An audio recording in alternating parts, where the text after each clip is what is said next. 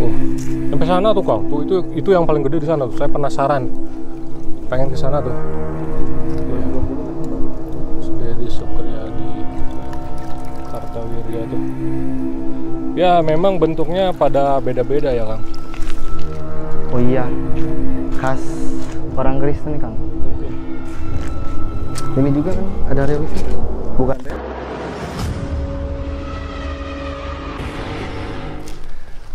Oke teman-teman balik lagi di channel Gagas Agasta. Sekarang saya akan eh, mengeksplor sebuah makam makam Cina ya kan? Iya, makam, Makam Cina. Cina di daerah Majalengka ini. Eh, bersama Kang Faki ini sekitar jam berapa ini? Kak, jam, Jam 2 ya kayaknya. iya jam 2. Jam 2 jam 2 siang. Jadi gini hanya konten ringan, kita konten survei dulu lah. Untuk konten malamnya nanti mungkin eh, akan nyusul di kemudian hari. Tetap stay tune di channel Gagas Agasta dan selamat menyaksikan. Ya, teman-teman. Jadi ini daerahnya ada di sekitaran Majalengka. Dan kita masuk jalan sini itu eh buntu ya, Kang, sebelah sana itu. Iya, buntu dan Udah nggak ada aspal lagi. nggak ada. Cuman ada semen doang putih.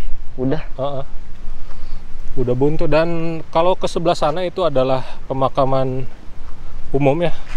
Iya, pemakaman umum di sana tapi masih ada makam Cina di sana hanya ada Beberapa. dua ya, beberapa. Hmm.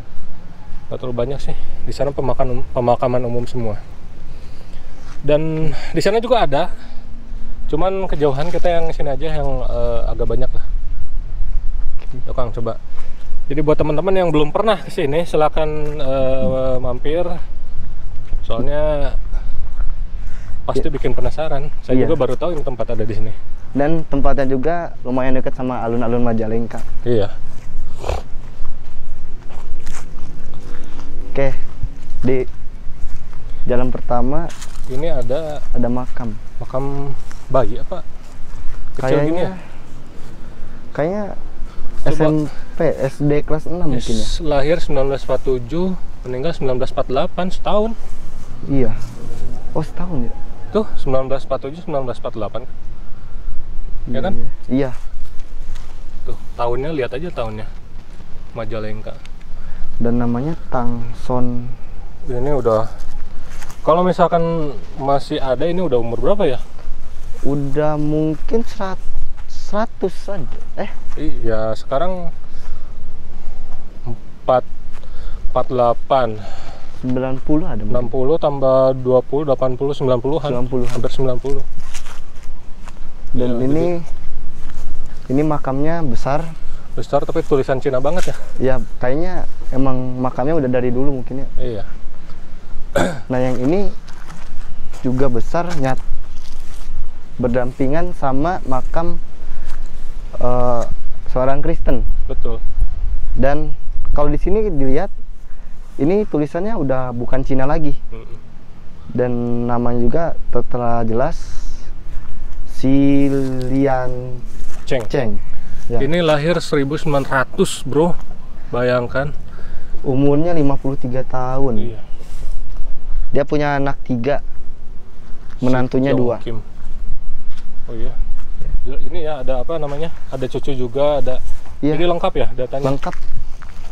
dan kalau ini Ini dua orang.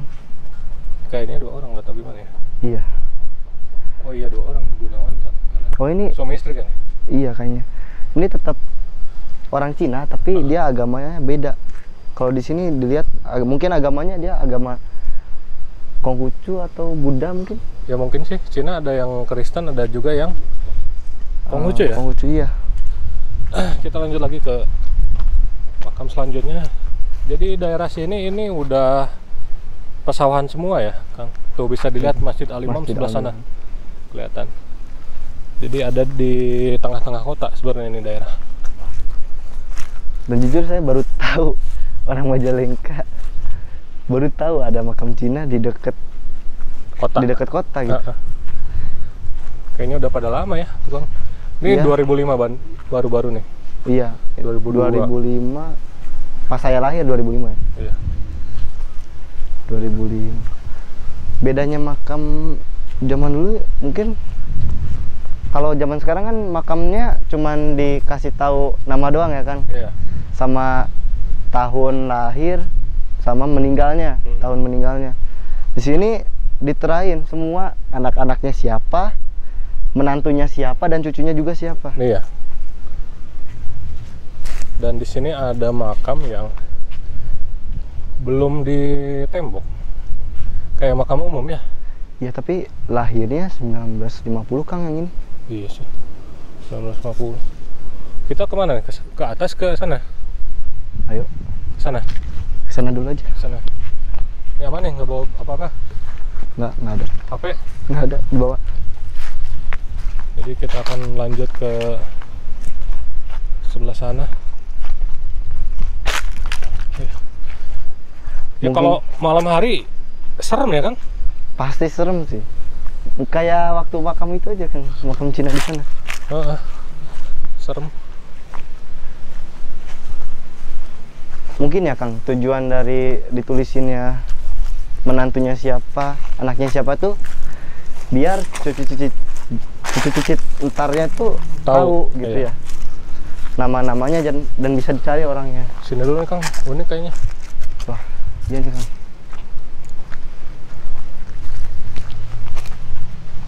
Oh, men.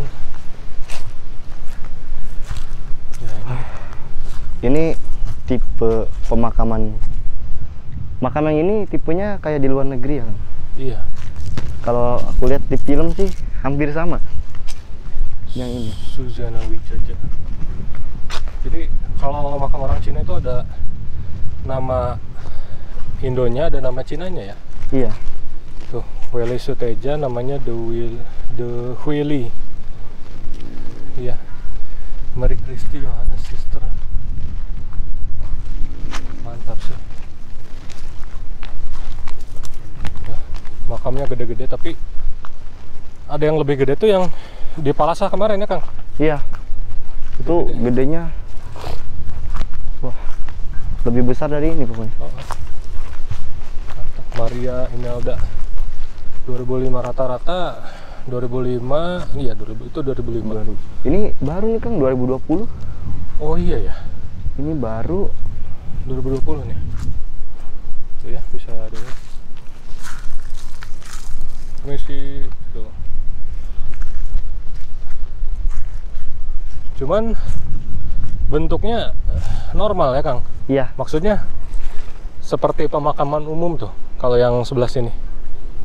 Kalau yang di Palasa sama yang di situ kan buat berdoanya mungkin di depan dan makamnya di di belakang tubuhnya ya. tubuh, ya. Mungkin Kang bedanya karena yang di sini mungkin ya mayoritasnya agamanya Kristen. Iya. Atau mungkin sekeluarganya dari sini. Bisa jadi. Bisa jadi. Tapi biasanya kalau yang sekeluarga itu makamnya pada sama rata-rata. Ini kayak ini ya Kang, Iya, disamain gitu. sama tuh.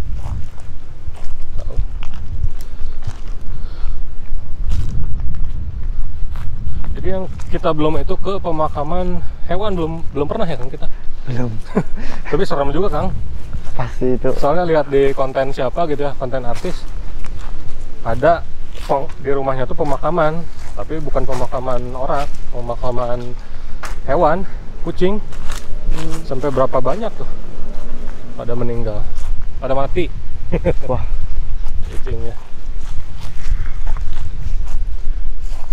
Kayak ini, ini wah ini mahal ya Kang.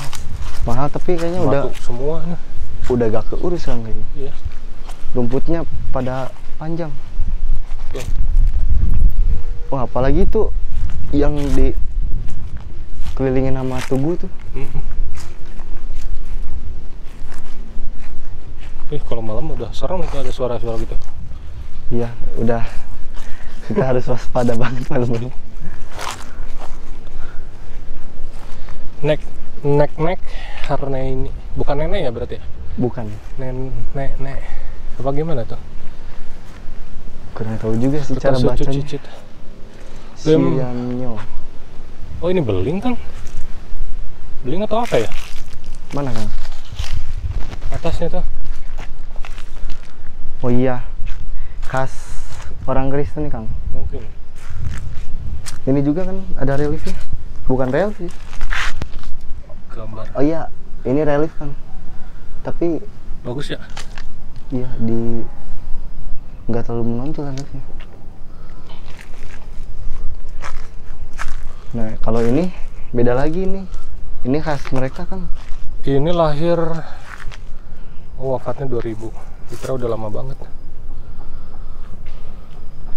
87 usianya eh dua 87 makam ini.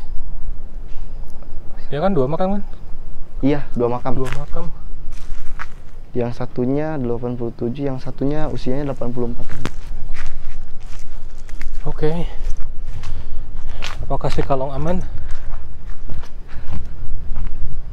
Kelihatan nggak nggak kelihatan bentar lagi deh.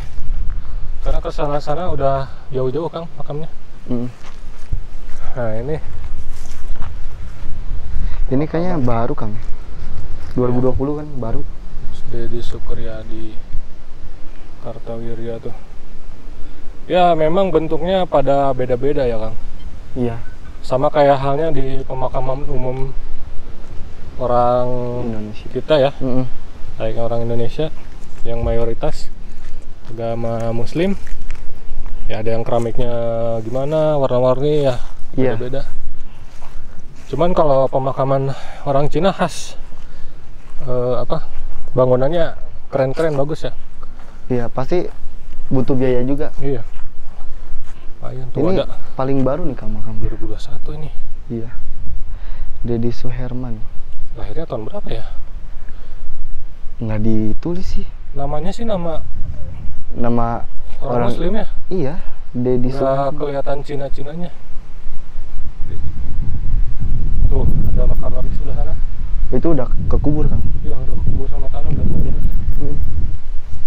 Dan kalau kita lihat di bagian sini udah nggak ad- ada sih ada pemakaman, cuman udah pada jauh dan udah tua tua juga ya. iya Nah, modelnya gini nah kalau pemakaman itu umum ya. iya Jadi hanya keramik. Tuh. Oh, sampai sana tuh Kang. Tuh itu itu yang paling gede di sana tuh. Saya penasaran. Pengen ke sana tuh. Nantilah kalau ada waktu kita ngonten malam mungkin ya Kang iya kalau ada waktu ke sana. ini ada yang masih keurus mungkin ya ada yang udah nggak keurus Iya, jauh-jauh banget ini. Tuh, di sana ada. Harus nyebrang dulu. tapi akang pernah nggak ngelihat mereka jarah Belum, belum ya belum pernah. Gak pernah sengaja soalnya. iya juga Kemarin saya survei nyampe sana, Kang. Nyampe yang sana tuh. Soalnya penasaran pengen masuk yang makam sana. Ternyata jalannya makin kecil, takutnya nggak ada jalan untuk putar baliknya. Mm-mm. Mantap sih. Oh, itu serem sih kalau yang di sana jauh dari ini desa penduduk tuh Apa lewat jalan yang sana gitu ya? Soalnya tadi kan ada makam di sana tuh, Kang. iya ada ada Kayaknya lewat sana tuh jalannya. bisa jadi jadi lewat dulu makam umum mungkin ntar lebus ke sana Iya.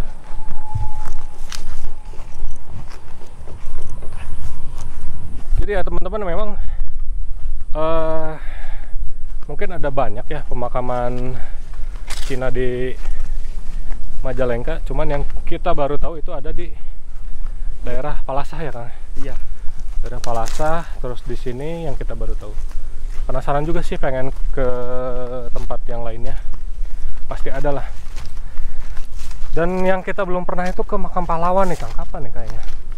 nah Belum pernah, soalnya kan sekarang masih dalam rangka memperang- memperingati jasa-jasa jasa-jasa para pahlawan ya. iya. Kemarin baru bulan kemerdekaan, kemudian ada apa? G30 SPKI gitu ya.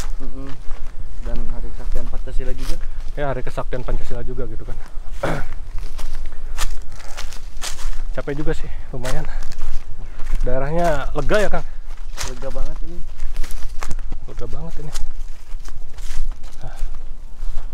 ya teman-teman kita habis eh, mengeksplor makam Cina di daerah Majalengka dan semoga konten ini menghibur kita pamit undur diri jangan lupa komen subscribe dan like. Selamat siang.